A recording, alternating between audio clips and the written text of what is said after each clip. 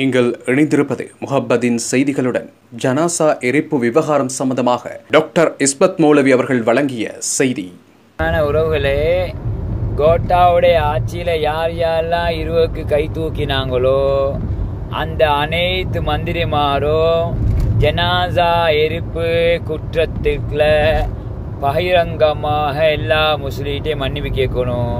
இல்லாட்டி நாக்க பிடிச்சி கொண்டு சாகுங்கோ.